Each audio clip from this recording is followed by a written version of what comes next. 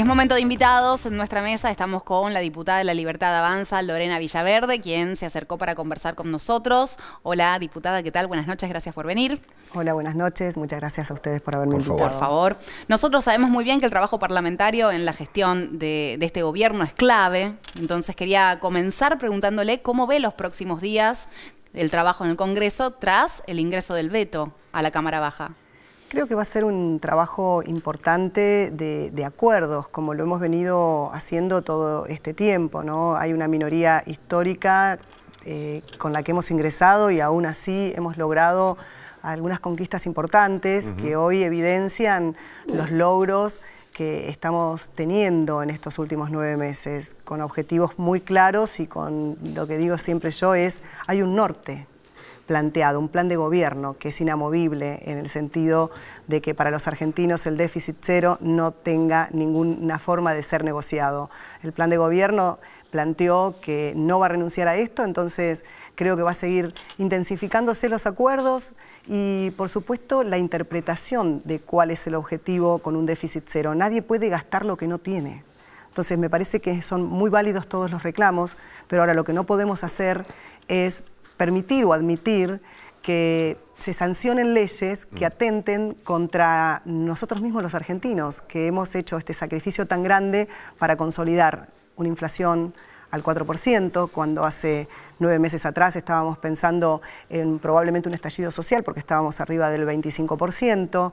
Eh, logramos que el orden a las calles vuelvan cuando prácticamente el argentino de bien no podía transitar y no tenía derecho a ir a su trabajo, como ustedes acá, no era imposible venir este, a su trabajo sin, sin, haber, sin zigzaguear los piquetes. Digo, eh, hemos tenido una cantidad de logros que me parece que vamos a seguir profundizando en el, Congreso y, son momentos de debate, de mucha democracia.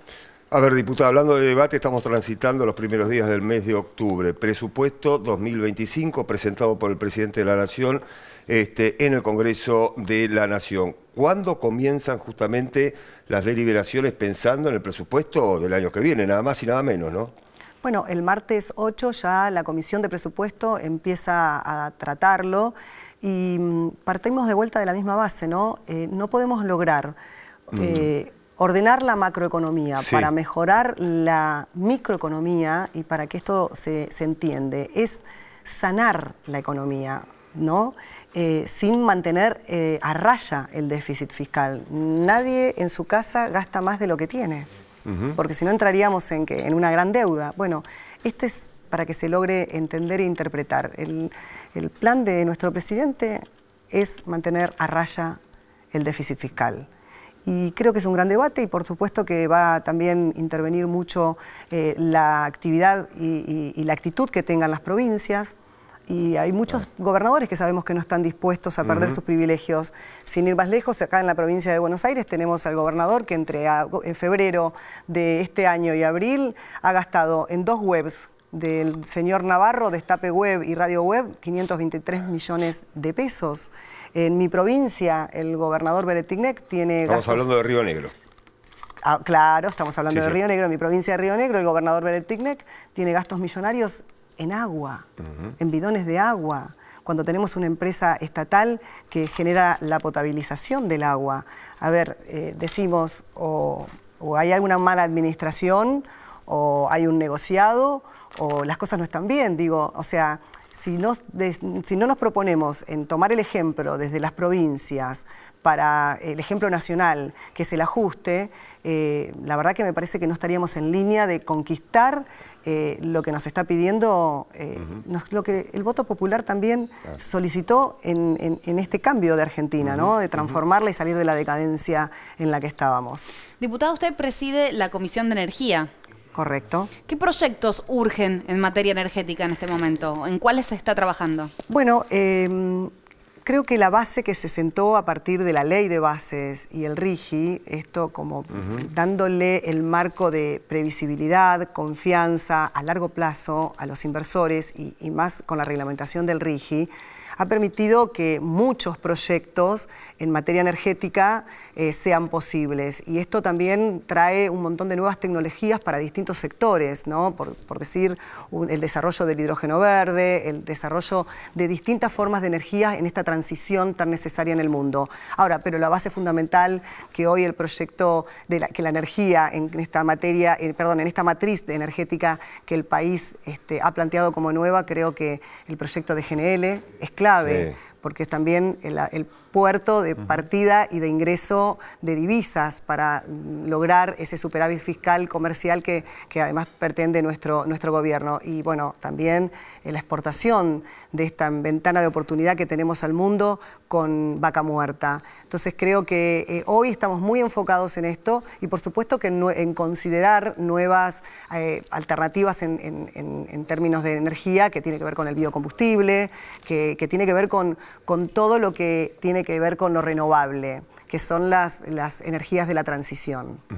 este, estas energías de la transición con lo renovable es sinónimo, por ejemplo, de más fuente de trabajo?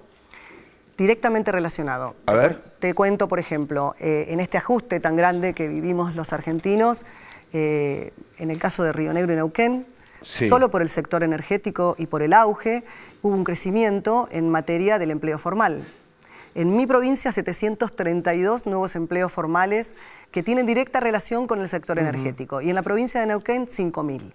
Quiere decir, digo, ¿no? Cómo continúa la línea esta de, se sancionó la ley de bases, el RIGI, nuevas oportunidades, nueva inversión, por ende, directamente relacionado con el empleo genuino y con la salida laboral de calidad que necesitamos. Bien. Le quería preguntar, porque no puedo no, no tener curiosidad, ¿Está confirmada la sesión especial del miércoles? ¿Sabe algo usted? Mira, estamos esperando la confirmación y, por lo menos este, ya está anunciado de que eso puede suceder, pero bueno, no tengo la confirmación exacta. Bien, bien, bien, bien. No, esto es otro, otro, otra vez más nos encontramos frente a, a distintos sectores que plantean el deseo de seguir de la misma manera, ¿no? Y como por eso digo, no están dispuestos a renunciar a sus privilegios, no están dispuestos a blanquear la situación, porque digo, acá no está en discusión de si corresponde o no corresponde mayor presupuesto. El tema es de dónde se origina el dinero para poder abordar ese presupuesto que pretenden. Sin ir más lejos, hace unos días escuchábamos decir a Lilita Carrió que ella estaba, fue profesora de dos cátedras y nunca le alcanzó más que para pagar la factura de la luz.